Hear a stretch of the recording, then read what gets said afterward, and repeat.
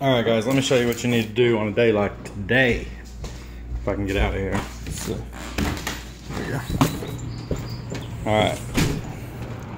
So we just bought this grill about two weeks ago. I'm gonna fire it up for you guys. I don't know if any, many of you know how to use a grill, but hook up this propane tank and then to turn it on, you just open the gas. That lets the gas flow to the lines here. And then you just turn your knob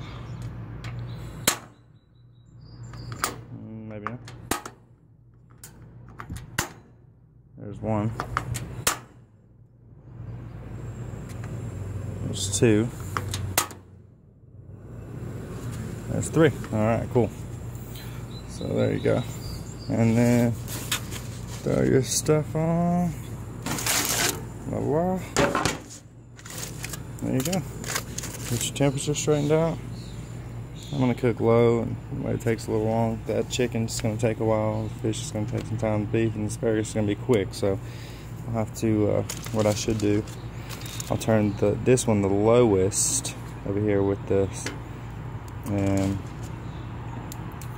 turn these up just a little bit more on this side over here. All right, there you go guys. That is Operation Grill.